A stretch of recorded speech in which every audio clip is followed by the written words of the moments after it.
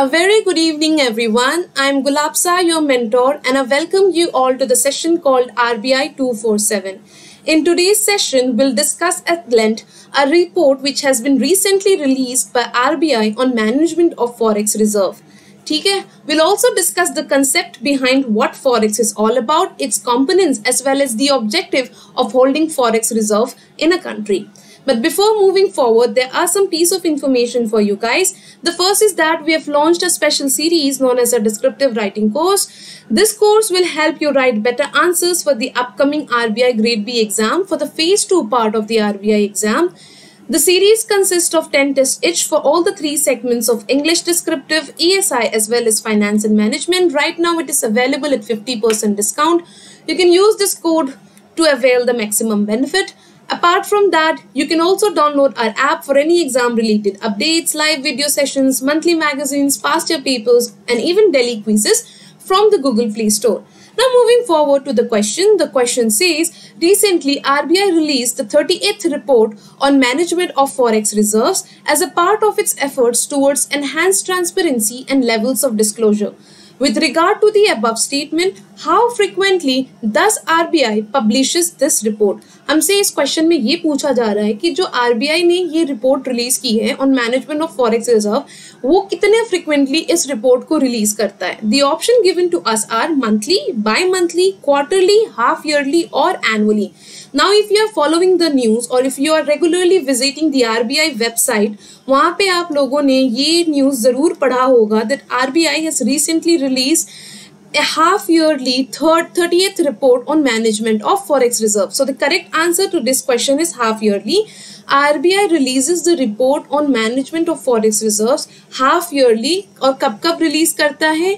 एक at the end of September and second at the end of March ठीक है? तो ये रिपोर्ट हाफ़ ईयरली रिलीज़ की जाती है आरबीआई के द्वारा एंड वाई दस RBI releases this report as a part of its effort towards enhance transparency and level of disclosure ताकि ये रिपोर्ट वेरियस स्टेक होल्डर्स को अवेलेबल हो so that they are they are also aware of the of the level of forex reserve in the country ठीक है? So this report is published half yearly at the end of September as well as at the end of March.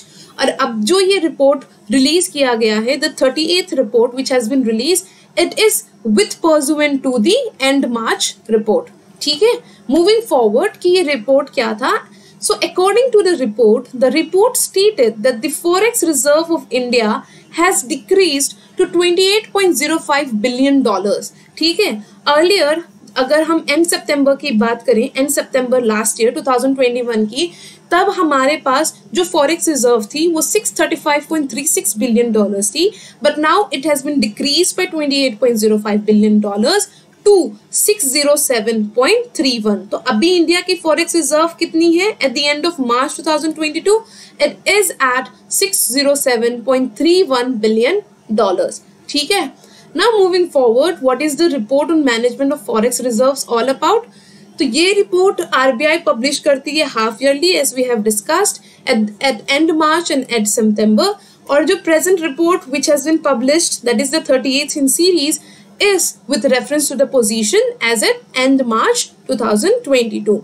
And why does RBI releases such reports? As a part of its effort to enhance the transparency as well as the level of disclosure of the forex reserve in the country. Moving forward, इस report में और क्या क्या चीजें mentioned थी तो according to the report, on a BOP basis, on a balance of payment basis, the forex reserve increased by 63.5 billion dollars during April December 2021 as compared to 83.9 billion dollars during last year of April December last to last 2021 अब आप ये कहोगे कि report में पहले आपने कहा कि डिक्रीज हुई है फॉरेक्स रिज़र्व यहाँ पे आप कह रहे हो इंक्रीज हुई है। So we need to see the reference period ठीक है? अब यहाँ पे रेफरेंस पीरियड क्या था? यहाँ पे हम बात कर रहे हैं एंड मार्च 2021-22 की। तो इस एंड मार्च के रेफरेंस में फॉरेक्स रिज़र्व हैव डिक्रीज ठीक है? 28.05 बिलियन डॉलर से डिक्रीज हुआ है। पर और जो डेटा आरबीआई ने मेंशन किया है इस रिपोर्ट में। उसके अकॉर्डिंग ये बता रहा है कि April to December April to December of 2021 last year के अप्रैल दिसंबर में, ठीक है? We had our we had forex reserve worth 63.5 billion dollars ठीक है?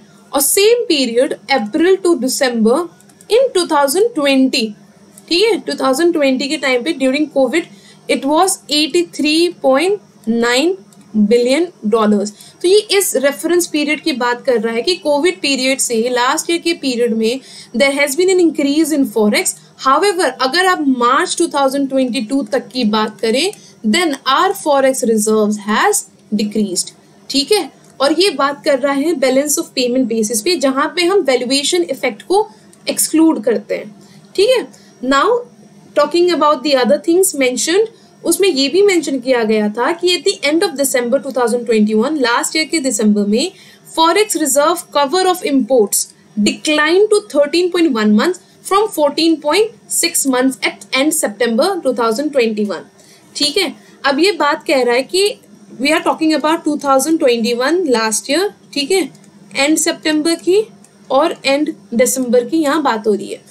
तो according to the report the report says कि जो हमारे पास फॉरेक्स रिजर्व्स थे, जो हमारे पास फॉरेक्स रिजर्व्स थे which could cover the our import bill अगर सपोज़ हमारे पास कोई एडिशन नहीं होती इस फॉरेक्स रिज़र्व में and we do not have any other sources of addition to this forex reserve and there are emergency situations, for example, in case of covid as well, or any other economic crisis उस case में हमारे पास जो forex reserve था, वो इतना available था कि अगर सितंबर के मंथ में वो इतना अवेलेबल था कि हम 14.6 मंथ्स के इंपोर्ट्स को कवर कर सकते थे, ठीक है?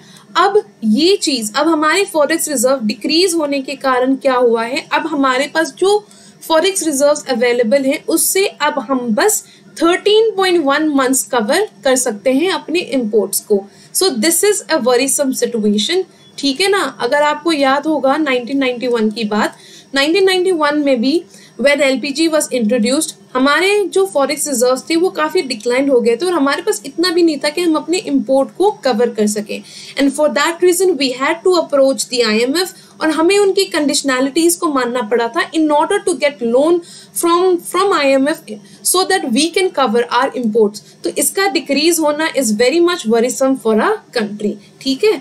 तो now our cover of import or forex cover of import has declined ठीक है?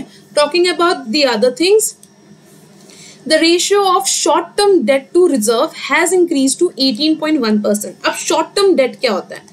Are short term debts? Debts which are taken for a shorter period of time, right? अब ये जो लोन है, अब ये लोन इम्पोर्ट के केस में भी हो सकता है. For example if you are importing something we need to pay them है ना? एंड हम रुपी में तो पे नहीं कर सकते क्योंकि हम फॉरेन कंट्री से हम इम्पोर्ट कर रहे हैं. So we usually pay them in terms of dollars तो हमारा जो लोन है, हमारा जो शॉर्ट टर्म लोन है as against our forex reserve है ना? Our loan to forex reserve has increase अब ये इंक्रीज कैसे हुआ होगा? So basic mathematical calculation for sure our loan our short term loan has increase और our forex reserve has decrease ठीक है? हमारे फॉरेक्स रिज़र्व के डिक्रीज होने से जो रेशियो था short term debt to reserve का, वो इंक्रीज हो गया है 18.1 परसेंट का. दैट मीन्स हमारे शॉर्ट टर्म लोन्स ज़्यादा हैं in comparison to our forex reserve now talking about other things The second ratio which the report talks about is volatile capital flows to reserve ratio. अब volatile capital flows क्या होते हैं As the name is very clear, the name suggests एक volatile होगा जो capital flows India के अंदर हो रहे हैं right? Capital flows or the inflows. And what are these volatile capital inflows? For obvious reason, it will be FPI for sure plus any short term debts. ठीक है अब F P I as we all know their major major objective is to earn profit is to make profit है ना? और इनकी जो profit होती है, वो कैसे हैम्पर होती है? It it get it gets hampered because of any exchange rate risk और बिकॉज़ ऑफ़ इन्फ्लेशन तो ये वॉलेटाइल इसलिए होता है, अगर any F P I any F P I investor अगर उसको लगता है कि एक्सचेंज रेट रिस्क बढ़ रही है है ना? अगर करेंसी डिक्रीज अगर करेंसी जिसमें वो इन्वेस्ट कर रही है suppose if it is investing in rupees अगर वो रुपीज़ में इन्वेस्ट कर रही है और रुपी डेप्रिशिएट करता जा रहा है तो जब वो कल को यूएस डॉलर में कन्वर्ट करेगा it will require more rupees to convert into dollar है ना? अब उसको ज़्यादा रुपीज़ लगेंगे सेम डॉलर को कन्वर्ट करने के लिए तो वो एक्सचेंज रेट रिस्क से बचने के लिए वो क्या करेगा? अपने पैसे, जब भी उसको दिखेगा कि there is exchange rate risk और if the inflation is increasing in the country in which it has invested its money तो वो क्या करेगा? वहाँ से it will try to take out its money so that वो उसको कहीं और स्टेबल इकोनॉमी में इन्वेस्ट कर सके। I hope exchange rate risk आपको क्लियर हुआ होगा। Let me give you an example and शायद मैंने ये आपको पहले भी एक्सप्लेन किया हो। सपोज़ एक यूएस इन्वेस्टर है, ठीक है? There is a US investor he wants to invest one dollar in India वो इंडिया में इन्वेस्ट करना चाहता है फॉर ऑब्वियस रीजन यहाँ पे उसको जो रिटर्न मिल रहे हैं, वो ज़्यादा मिल रहा होगा। ठीक है? नाउ अब वो डायरेक्ट डॉलर डॉलर को इन्वेस्ट नहीं कर सकता इंडिया में, है ना? इंडियन स्टॉक्स में इन्वेस्ट करने के लिए it has to be converted into rupees तो फॉर सपोज़ उसको वन डॉलर के लिए रुपीज़ फिफ्टी मिल रहा था। So he invested rupees fifty in Indian stocks Indian stocks में फिफ्टी इन्वेस्ट किया और उसको रिटर्न मिला, ठीक है? टेन परसेंट का उसको रिटर्न मिला। तो ओवरऑल जो उसका अभी बैलेंस है, जो उसका स्टॉक पोर्टफोलियो के अंदर अमाउंट है, वो अभी फिफ्टी फाइव रुपीज़ है। ठीक है? बट सपोज़ इफ़ ये जो हमने one dollar one dollar is equal to rupees fifty का रेशियो लिया है एक्सचेंज रेट रेशियो लिया है सपोज़ हमारी रुपी डेप्रिशिएट कर रही है है ना? Since our rupees depreciating in the economy one dollar is equal to rupees eighty हो जाता है। ठीक है? One dollar is equal to rupees eighty हो जाता है। तो अब क्या होगा?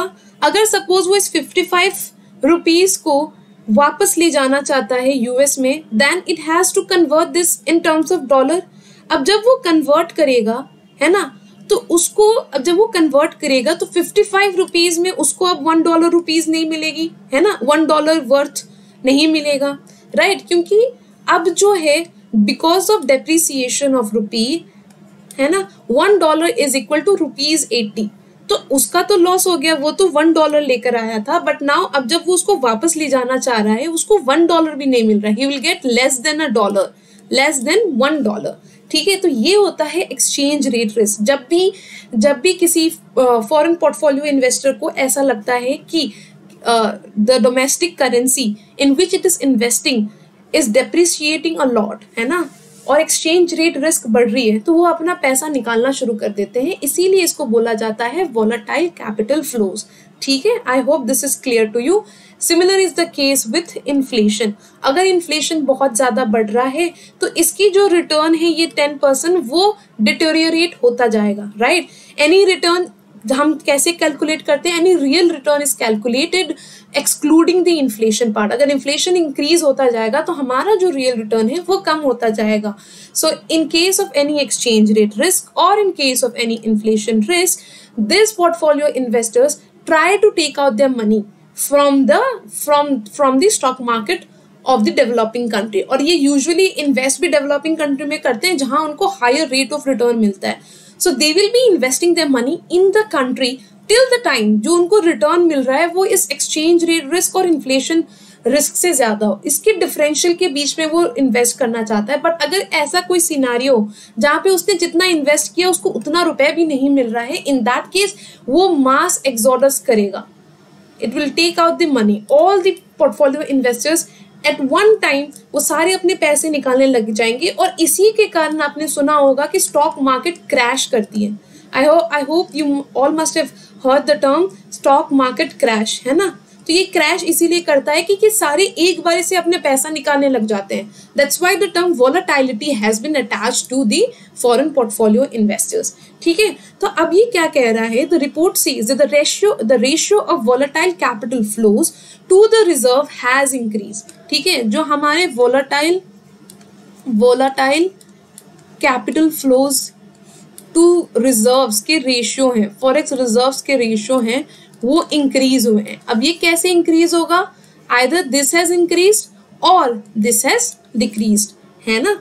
I hope this is clear to all of you guys the, the next thing which the report says is that the net for forward asset the, the, the asset which is receivable to RBI in the domestic foreign foreign exchange market stood at 65.79 billion dollars at the end of March 2022 ये कह रहा है जो भी forward forward market is also non as the spot market जहाँ पे instant simultaneously या instantaneously exchange की जाती हैं between rupee and the foreign currency ठीक है? तो उसमें जो रिसीवेबल है आरबीआई को it stood at sixty five point seven nine billion dollar now if you look at the report figures काफ़ी ज़्यादा मेंशन है but what do we need to remember सारे फिगर्स भी हम याद नहीं रख सकते right so we need to be very clear as to what is the concept है ना? कंसेप्ट हमें पता होने चाहिए। Secondly what is the effect whether there has been an increase और अ डिक्रीज ये चीज़ें हमें ज़्यादा ध्यान में रखने की ज़रूरत है because question will be ask not on the not only on the figure part but also based on the concept so concept is very much important figures you can remember but not everything some of the important figures for example the forex reserve figure you can remember this right ना moving forward talking about the India's net international investment position अब what is international investment position so it is basically a record. It is a summary. It is a summary record. It is a summary record of a country's of a country's external of a country's external holdings of assets and liabilities. Suppose India है तो India ने कितने assets acquire किए हैं foreign country में right suppose foreign countries any foreign country और all the foreign countries for that matter what is the amount of assets which has been held by India in the foreign country and what is the liability which India is liable to pay to these foreign country इसके इसके net position को हम international investment position बोलते हैं कि हमारी investment position क्या है किसी in regard to other foreign countries तो वो इंडिया के कॉन्टेक्स्ट में नेगेटिव है why it is negative it means हमने जो liabilities we are liable to pay more we are liable to pay more than we are we have acquired the assets in the foreign country हमने assets कम acquire किए हैं. We have taken more of the liabilities and that's why our in international investment position is negative and it stands at USD US dollar 357.9 billion. ठीक है? Now talking about gold reserves. So, uh, regarding the gold reserves, the report says that the share of gold in total forex reserve has increased. हमने जो gold invest uh, हमने जो gold रखा है अपने forex reserve में it has increase earlier from from 5.88 percent last September जब last report आई थी और अब के रिपोर्ट में it has been increase to 7.01 percent अब why do RBI keeps why do RBI keeps gold reserves in its forex reserve? This is because कि ताकि in case of any emergency or in case of any economic crisis, it can use this gold reserve or for that matter its forex to support its economy. ठीक है आपने भी देखा होगा even during the COVID situation as well. When uh, COVID situation, we tried families tried to hoard or keep food grain with themself है ना, कि मिलेगा नहीं? So this food grain which they are keeping with themself will help them to sustain in in future in case अगर उनको food grains नहीं मिलता है. For that matter they also kept cash with them अगर bank crisis होते हैं तो हम कैश अपने पास रख लेते हैं ताकि इन केस ऑफ़ नीड हम उसको यूज़ कर सकते हैं. Similarly In case of the crisis which is ongoing in the economic front, RBI has also increased its reserve, its share of gold in the forex reserve by to 7.01 percent.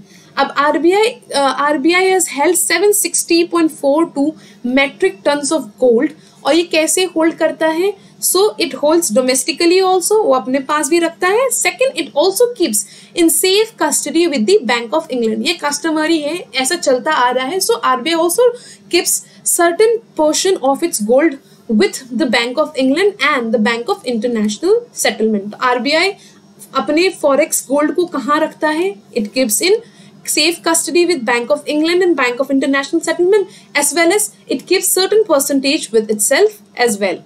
ठीक है?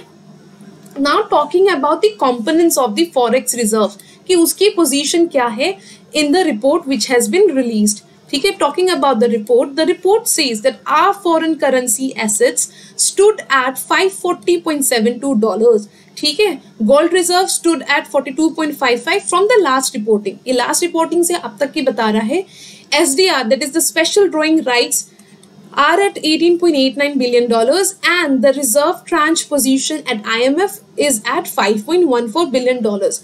Now, don't worry, हम इन सब के बारे में discuss करेंगे कि foreign current assets क्या होते हैं एस क्या होते हैं आरटीपी क्या होते हैं will discuss this in the further slides उसके अलावा, आप एक चीज़ अगर देख रहे होगे you must be able to examine कि जो हमारा फॉरेन करेंसी एसेट्स है it is the highest in percentage which is contributing to the forex reserve हमारे फॉरेक्स रिज़र्व के चार कॉम्पोनेंट्स है. First foreign currency assets gold reserve special drawing rights and reserve tranche position and out of all the maximum constituent is of foreign currency assets so if in case exam में question आ जाए which is the major contributor to the forex reserve of India it is the foreign currency assets I hope आपको ये clear होगा. और हम foreign currency assets कैसे रखते हैं? We keep certain percentage in terms of securities or we deposit with other central bank of the country of other countries and the bank of international settlement and we also try to keep them in terms of deposit with overseas commercial banks moving forward अब let us सी कि forex reserves होता क्या है what are this foreign exchange reserves so as the name suggest it is a reserve which is kept है ना एक एक तरीके का रिजर्व है that that the monetary authority of a country in case of india it is rbi the central bank keeps in the form of foreign currencies bonds gold treasury bills and other form of securities तो एक तरीके का reserve है जो every country every monetary authority every that that the monetary authority of every country keeps with it है ना वो अपने पास रखते so that it can act as a question so that it can act as a question to support to either support their currency है ना? अगर बहुत ज़्यादा डेप्रिशिएट कर रहा है so that it can support it currency और it can meet its borrowings or debts ठीक है? So for all these reasons RBI keeps forex reserves with itself. अब जो फॉरेक्स रिज़र्व रखा जाता है वी हैव स्टडीड कि इन चार फॉर्म में होता है फॉरेन करेंसी एसेट्स अब फॉरेन करेंसी एसेट्स में ज़रूरी नहीं है कि बस डॉलर हो it can be in other form also और how does a country gives अब कैसे डिसाइड करता है कि हम किस करेंसी में अपनी फॉरेन करेंसी एसेस को रखें? तो वो डिपेंड करता है from country to country depending upon their export import portfolio अगर वो सपोज़ यूएई से ज़्यादा इम्पोर्ट कर रहा है तो वो उसकी करेंसी को रखेगी, है ना? अगर सपोज़ वो यूएस से ज़्यादा कर रहा है तो यूएस डॉलर्स रखेंगे चाइना से कर रहे हैं तो उसकी युआन रखेंगे जापान से कर रहे हैं तो फिर हम जैपनीज येन रखेंगे। So it depends upon the portfolio of the import export of a country but majorly we try to keep in stable currency अब ऐसा नहीं कि आप किसी भी इन स्टेबल करेंसी में रख दो we try to keep the foreign currency assets in stable currency such as the dollar such as the pound sterling of Britain euros है ना? तो ऐसी करेंसीज में फॉरेन करेंसी एसेट्स रखते हैं। अब इन सब की वैल्यूएशन को हम डॉलर टर्म्स में कैलकुलेट करते हैं, ठीक है? इन सबको हम डॉलर टर्म्स में कन्वर्ट करते हैं। तो यही मेंशन है कि जो भी फॉरेक्स होती है इंडिया की it is it is mainly held in the terms of US dollars US dollars में कन्वर्ट करके रखा जाता है। And who is the custodian of forex reserves in India it is the RBI keep this in mind forex reserves के custodian कौन है? RBI है। And who sets the legal provision for governing the forex reserves in India, it is not only the RBI Act of 1934, but it is also the Foreign Exchange Management Act of 1999. तो ये चीजें आप please ध्यान में रखिए RBI is the custodian and it is governed by the RBI act of 1934 as well as the FEMA Act of 1999. Moving forward, we have studied the components. India's forex reserves consist of four categories that is, the foreign currency assets, gold reserves, special drawing rights, and the reserve tranche position with International Monetary Fund IMF. Moving forward, what are the objectives of holding the forex? Why do we keep forex? Why does a country keeps forex? तो इसकी objective ये है so that it can support and maintain the confidence in the monetary policy as well as the exchange rate intervention in order to support the domestic currency. RBI keeps forex reserve so as to support its rupee. आपको पता होगा, हमारी जो exchange rate mechanism है it's not free right free flow नहीं है it is basically managed float it's basically managed float managed float का ये मतलब होता है we let the demand and supply of the dollar as well as the rupee determine the exchange rate but at the same time अगर हमारी rupee बहुत ज़्यादा depreciate करी है, for that matter, बहुत ज़्यादा appreciate करती है, जो कि आज तक नहीं हुआ है usually rupee always has been depreciating. So, in that case RBI tries to support rupee, support its domestic currency, that is rupee, by intervening in the market.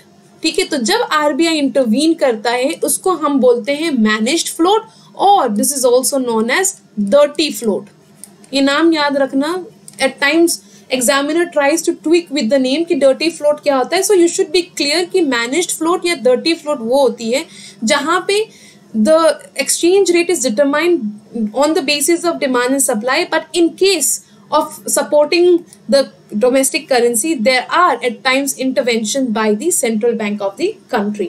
ठीक है? अब जो फॉरेक्स रिज़र्व आरबीआई रख रही है it will also provide as a capacity to intervene है ना? It will provide the capacity if we have more of dollars तो हम उसको सेल कर सकते हैं. We can sell dollars so that हमारी रुपी जो हमारी रुपी है, वो कम डिप्रिशिएट करे. Right right? अगर डॉलर ज़्यादा सेल करेंगे दैट मीन्स रुपी रुपी की डिमांड इंक्रीज होगी. और when rupee demand increases depreciation slows down और we can say appreciation happens ठीक है? तो अगर हमारे पास मोर अमाउंट ऑफ़ डॉलर्स होगा तो हम अच्छे तरीके से अपने रुपी को सपोर्ट कर सकते हैं. Apart from that it also helps the government in meeting its external debt obligations by serving as a cushion to absorb shock during times of BOP crisis that happened that even happened in 1991 ठीक है? तो BOP crisis से बचने के लिए भी this forex reserve is of utmost importance अगर हमारे पास जितना से ज़्यादा ज़्यादा से ज़्यादा फॉरेक्स रिज़र्व होगा, उसको हम यूटिलाइज कर सकते हैं in order to support our currency as well as to meet the external obligation external debt obligation apart from that अगर हमारे पास इंक्रीजिंग फॉरेक्स रिज़र्व है तो ये एक पॉजिटिव पॉजिटिव और फैलाता है। दैट मीन्स कि हमारी इंडिया की गुड रेपुटेशन होगी फॉरन इंटरनेशनल मार्केट में बिकॉज़ जो ट्रेडिंग कंट्रीज़ होगी they will be sure that उनके पेमेंट्स उनको टाइमली मिल जाएँगे। ठीक है? They will not be any default from India for example Sri Lanka के केस में उनके पास अभी फॉरेक्स रिज़र्व नहीं है. They are trying to get it from I M F तो ऐसी सिचुएशन ना आए. तो अब श्रीलंका के पास नहीं है तो countries will not be approaching to Sri Lanka उनके साथ ट्रेड करने के लिए. But suppose but if suppose उनके पास बहुत ज़्यादा फॉरेक्स रिज़र्व है then country will be assured कि उनको उनके पेमेंट्स मिल जाएँगे. So this are the objectives of holding forex reserve forex reserve is of utmost important for any country now moving forward to the second question now अब जो हमने पढ़ा है, उसकी बेसिस पे let us discuss certain question the second question says which of the following constitutes the second question says which of the following constitutes India's foreign exchange reserve अब भी हमने रीड किया फॉरन करेंसी एसेट्स आते हैं gold reserve आता है special drawing rights आते हैं and reserve transposition at IMF ये चार चीज़ें आती हैं। Loan from world bank is not a part of forex reserve of a country so, the correct answer is 1 2 3 and 5 1 2 3 and 5 option E अब discuss कर लेते हैं what are this foreign currency assets now what is this foreign currency assets foreign currency, as the name suggests, कि these are currencies which are held in which are held not in domestic not in domestic terms, but in some other countries currency ठीक है? किसी foreign currency में हम इसको रख रहे हैं which is not domestic India के लिए डोमेस्टिक रुपी है। If we hold currency other than rupee अगर हम डॉलर्स होल्ड करते हैं, अगर हम अगर हम जापानीज येन होल्ड कर रहे हैं, अगर हम रेनमिन भी होल्ड कर रहे हैं चाइनीज़ की, ये सब करेंसी जो कि डोमेस्टिक नहीं है इंडिया के लिए these are known as the foreign currency assets and as I have discussed, foreign currency assets is the largest component of the forex reserve of any country. ठीक है and these are usually maintained in the form of multi-currency portfolio. Multi-currency portfolio में हम उसको रखते हैं comprising of major currencies, major stable currencies, stable currencies such as the US dollar, euro, pound sterling, Japanese yen, and for that matter हम अगर suppose हमारे Canada से trade काफ़ी ज़्यादा है तो we can keep Canadian dollar as well ठीक है कैनेडियन डॉलर रख लिया ऑस्ट्रेलियन डॉलर रख लिया अगर हमारे उनके साथ ज़्यादा ट्रेडिंग टर्म्स हैं तो and as I have mentioned, foreign currency assets are valued in terms of US dollars और इसकी वैल्यू हमेशा इंक्रीज डिक्रीज होती रहेगी बेस्ड ऑन द एप्रिसिएशन और depreciation of the non domestic currency that is the non US units like the euro pound yen इसके वजह से जो डॉलर वैल्यू है वो इंक्रीज डिक्रीज होता रहेगा राइट right? अब डॉलर को हमने डॉलर टर्म में कर दिया। येन को भी अब हम डॉलर टर्म में करेंगे। सपोज़ अगर ये अप्रिशिएट डिप्रिशिएट होगा तो इसकी वैल्यू भी अप्रिशिएट डिप्रिशिएट होगी। तो जो फाइनल फॉरेन करेंसी एसेट्स होगा, इसकी वैल्यू अप्रिशिएट डिप्रिशिएट करेगी बेस्ड ऑन द अप्रिसिएशन और depreciation in non US dollar currency ठीक है? I hope this is clear to you moving forward special drawing rights क्या होते हैं? Special drawing rights it is a kind of an artificial asset ठीक है? It is an international reserve asset एक तरीके का आर्टिफिशियल एसेट है which has been created by IMF in the year 1969 इसको as an artificial asset create किया गया था so that it can act as an international reserve asset so that countries, apart from holding dollars or gold, they can also hold SDR और SDR को hold करके they can और इसमें कोई risk नहीं था। स्टेबल करेंसी की तरह इसको इंट्रोड्यूस किया गया था that if you have any currency you if you have S D R then you can convert it back to any other currency of the world ठीक है? अब any of the other currency of the member countries जो जो member होंगे IMF के, उसके साथ आप इसको कन्वर्ट कर सकते हो और वो इजीली हो जाएगा। ऐसा नहीं कि आप कन्वर्ट नहीं कर पा रहे। and why was uh, SDR created? It was created to supplement the member countries official reserves. उनके जो reserves हैं उसको उसको supplement करने के लिए SDR was created. SDR was created in the context of Bretton Woods fixed exchange rate system. इसके बारे में if you want to know in details please mention down in the comment section I can take a session on what was the Bretton Woods Bretton Woods fixed exchange rate system और for that matter कि और क्या क्या system थे जिसकी वजह से S D R was created so S D R was basically created to support dollars ऐसा हुआ था कि लोगों के पास डॉलर्स बहुत ज़्यादा थे but the bank of US US Fed did not have enough gold to support this dollars उनके पास इनफ गोल्ड नहीं था कि वो इस डॉलर को सपोर्ट कर सके। तो इस प्रेशर को कम करने के लिए आईएमएफ ने इंटरनेशनल रिज़र्व एसेट के तौर पे एसडीआर को इंट्रोड्यूस किया गया था so that the pressure on dollar can be reduced and people now start now start keeping now start keeping S D R in their official reserve पहले official reserve में लोग डॉलर रखते थे. Earlier क्या होता था कि एक डॉलर को फिक्स किया गया था to some thirty five ounce of gold ठीक है? कि एक dollar thirty five ounce of gold है। तो लोगों ने क्या किया था? अपने गोल्ड को देने लग गए थे। एंड ड्यूरिंग ट्रेडिंग और वो डॉलर को होल्ड कर रहे थे इंटरचेंजेबली कि गोल्ड ना रख के अब वो डॉलर रख रहे थे। बट ऐसा एक सिचुएशन आ गया था during the Bretton Woods fix exchange rate system कि यूएस के पास इतना डॉलर इतना गोल्ड रिज़र्व नहीं था कि वो इस डॉलर रिज़र्व जो बाकी कंट्रीज़ के पास है उसको मीट कर सके। So what happen was US trade deficit में था उस टाइम पे। ट्रेड डेफिशिएट का क्या मतलब होता है? उनकी जो इम्पोर्ट्स थी, वो उनके एक्सपोर्ट से काफ़ी ज़्यादा थे, ठीक है?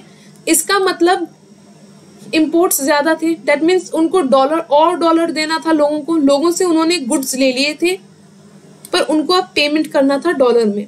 तो उन्होंने बहुत सारा डॉलर प्रिंट कर दिया था in order to purchase this goods पर जब जब उस, उनको रियलाइज़ हुआ कि उन्होंने इतना ज़्यादा प्रिंट कर दिया है कि उनके पास उतने अमाउंट के गोल्ड रिज़र्व तो है ही नहीं। मतलब सपोज़ उनके पास अगर 350 आउंस ऑफ़ गोल्ड थे तो उन्होंने क्या किया था? Which is equal to ten dollars उन्होंने हंड्रेड डॉलर्स इशू कर चुके थे। तब वो नाइन्टी डॉलर्स को कैसे कंपनसेट करते? तो इस चीज़ से बचने के लिए in order to not fail the Bretton Woods fix exchange rate system जो उस वक्त का इंटरनेशनल सिस्टम चल रहा था इंटरनेशनल मॉनिटरी सिस्टम उसको फेल ना करने के लिए आई एम एफ़ डिसाइडेड कि वो एक आर्टिफिशियल करेंसी इंट्रोड्यूस करेगी which is known as the special drawing right so that the pressure on dollar can be eliminated can be partially alleviated ठीक है? और लोगों को ये सजेस्ट किया गया था कि अब आप जो इंटरनेशनल ट्रांजेक्शन हैं, वो आप एस डी आर में करो।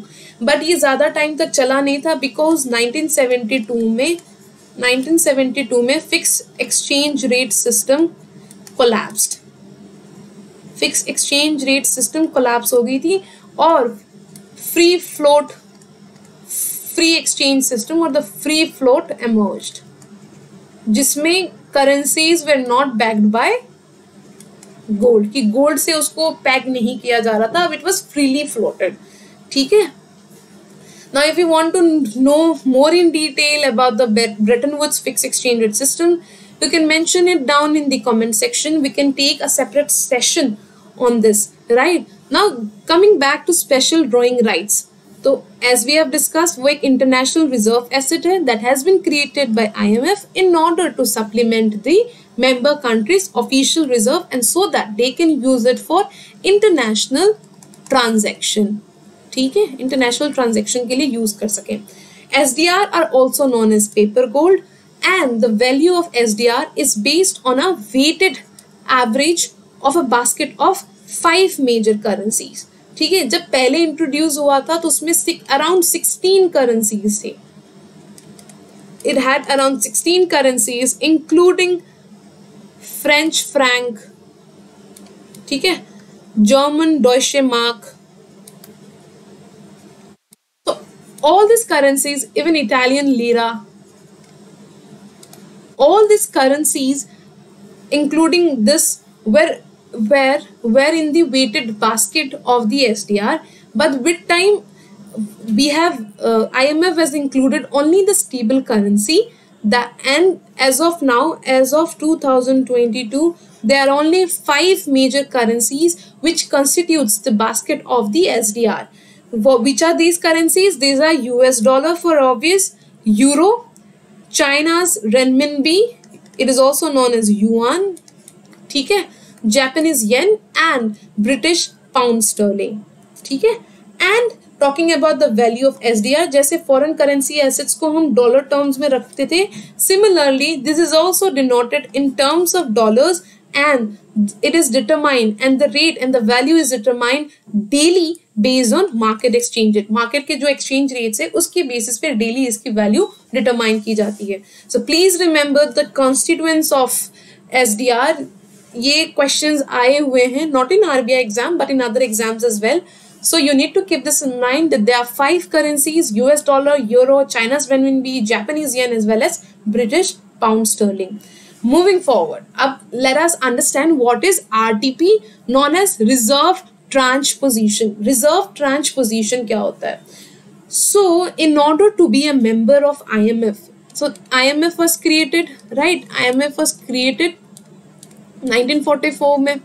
तो when I M F was created member countries the member countries were required member countries were required to deposit certain fund certain funds based on I M F designated quota एक quota होता था।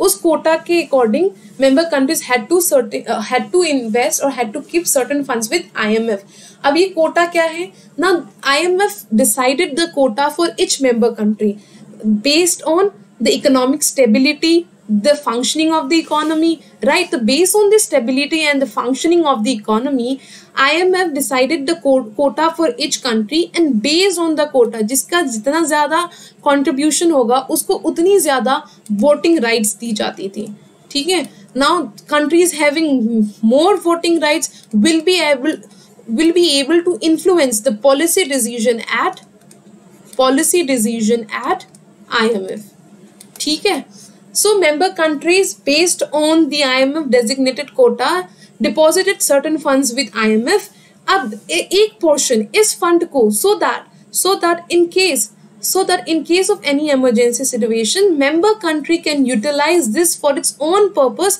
before asking, before seeking any formal credit help from IMF that charges interest. तो अब ये जो हम funds member countries deposit करती हैं आईएमएफ के पास based on their quota they can withdraw a portion of it एक portion what is the portion twenty five percent twenty percent तक आप विड्रॉ कर सकते हो in case any time without without agreeing to the और paying paying a service fee to IMF right अब आपको याद होगा during 1991 BOP crisis India had to go to IMF और हमें उनकी कंडीशनैलिटीज को माननी पड़ी थी राइट कंडीशनैलिटीज को माननी पड़ी थी। Now if suppose if suppose हमारे, अगर हम, हमने कुछ डिपॉजिट किया हुआ है according to the quota I M F designated quota उसका ट्वेंटी फाइव परसेंट हम without without without without agreeing to the conditionalities which has been impose by IMF हम विड्रॉ कर सकते हैं अपने किसी पर्पज के लिए ठीक है this is accessible to us without any conditions और without paying any charges or interest to IMF. So this is known as the reserve tranche position. It is the portion of the quota that each member country provides to the IMF. ठीक है, उसका कुछ portion आप निकाल सकते हो without paying any interest और without agreeing to any of the conditionalities imposed by IMF this is known as the reserve tranche position I hope आपको क्लियर होगा कि आईएमएफ के अंदर IMF के अंदर member countries based on a quota, which is decided by IMF based on the quota in, deposit certain money with IMF US सबसे ज़्यादा invest कर रहा होगा because it is the largest economy है ना? सिमिलरली इंडिया भी कुछ invest कर रही हो, हो रही होगी। तो based on its quota RBI और India can can take out certain money which is around twenty five percent of the quota जिसके लिए इंडिया को आईएमएफ की किसी भी कंडीशनैलिटी को मानने की ज़रूरत नहीं है। Neither it has to pay any interest अगर इससे ज़्यादा इंडिया को ज़रूरत पड़ती है then it will have to take formal help from IMF and by when IMF will provide this help IMF will impose certain conditionality on India in this example I hope this is clear to you moving forward based on the same thing which we have discussed According to the report on management on forex reserve, reserve tranche position was valued at 5.14 billion dollars. What is this reserve tranche position? Whether it is a loan granted by IMF to its member countries at times of emergency, it is a loan system of World Bank, it is a loan system of WTO, or it is a credit system of IMF where member countries can access the funds anytime without agreeing to conditions or paying a service fee to IMF or it is one of the operation of central bank आपको अगर आपने ये चीज़ अभी नहीं पढ़ी होती है you will have been confused between A and D ये तो चलो we can exclude right we can eliminate but आप इन दोनों के बीच में कंफ्यूज हो जाते but since we have studied अभी सो वी आर क्लियर कि जो भी आरटीपी होता है दिस रिज़र्व ट्रांच पोजीशन इसके अंदर we get access to the funds यहाँ पे भी फंड्स मिल रही हैं राइट बट और आईएमएफ से ही मिल रही हैं। बट ये फंड्स हमें तब, हमें मिलती हैं without agreeing to the conditions और paying any service fee to IMF so the correct answer to this question is D ठीक है? D is the correct answer. It is a portion of the required quota of currency each member country must provide to IMF so that it can access it anytime without agreeing to the conditions or paying any service fee. Moving forward to the last question based on the same data which we have studied. The question says SDR is an international reserve asset created by IMF. The value of SDR is based on a weighted basket of five major currency. Which of the following is not a part of it? Option है हमारे पास renminbi Chinese renminbi French franc Australian dollar German mark and euro हमें बताना है कि which of the following is not a part renminbi is a part of S D R as of no as of two thousand twenty two अगर हम पहले देखते, जब ये जब ये इंट्रोड्यूस हुआ था नाइनटीन सिक्सटी नाइन में एस डी आर तब तो फ्रेंच मार्क और जर्मन डॉलर भी इसके पार्ट थे, ठीक है? But as of 2022 French mark is not a part of SDR. Similarly, Australian dollar is also not a part and the German Deutsche Mark is also not a part of the SDR. ठीक है so so, हमारे पास answer euro as a part तो हमारे पास answer आ जाता है two three four two three four option C is the correct answer ये currency the basket of currency the five major currencies that is the dollar the euro, ठीक है? Renminbi and yen Japanese yen please keep this in mind एक composition पे question आता ही आता है. Not necessarily in this exam only but yes question on this has been ask in previous years ठीक है? We have discuss this already answer is C moving forward. Now there has been a recent news regarding the constituent of the special drawing rights. Whereby recently IMF has increased the weightage of US dollar as well as the Chinese yuan in the valuation of special drawing rights. पहले पहले जो I M F raise the US currency जो dollar की weightage थी, वो 41.73 percent थी इस S D R में। Now it has been increase to 43.88 percent similarly yuan की जो वेटेज थी it has been increase from 10.92 to 12.28 percent अब इसको इंक्रीज किया है that means the other currencies weightage must have been reduced right must have been decreased so, euro Euro, the weightage of euro has been decreased from 30.93% to 29.31%. Yen has been decreased from 8.33 to 7.59 and the British pound has, has decreased from 8.09% to 7.44%. So, and as you know, the review, the review of SDR basket is usually done by IMF in every five years or it, it can do even before five years if any situation warrants IMF to do so but usually पाँच साल के अंदर SDR के constituent को review किया जाता है and this was the first review of the currency since 2016 2016 के अंदर Chinese renminbi was added to the SDR basket SDR basket में Chinese renminbi को add किया गया था ठीक है, अब चाइनीज़ रेनमिन बी को 2016 में ऐड किया था, उसके बाद 2022 में फ़र्स्ट टाइम रिव्यू किया गया है इस बास्केट को, जिसके अंदर जिसके अंदर the weightage of US dollar as well as the Chinese renminbi has been increase please keep this in mind इसको इंक्रीज किया गया है बाय आईएमएफ ठीक है? So, guys, this was all for today. I hope you like the session. I have discussed at length reserves hote kya hai now, if if a if a statement based question comes in exam, that foreign, what will be the effect of increase in foreign currency assets तो आपको इसका answer पता होगा कि अगर increase in foreign currency assets हो रहा है तो हमारा फॉरेक्स रिजर्व्स भी इंक्रीज होगा राइट right? सिमिलरली अगर आरटीपी इंक्रीज हो रहा है या डिक्रीज हो रहा है तो हमारा जो फॉरेक्स है, वो इंक्रीज डिक्रीज होगा राइट आरटीपी इंक्रीज होगा तो फॉरेक्स इंक्रीज होगा आरटीपी डिक्रीज होगा तो फॉरेक्स डिक्रीज होगा, ठीक है?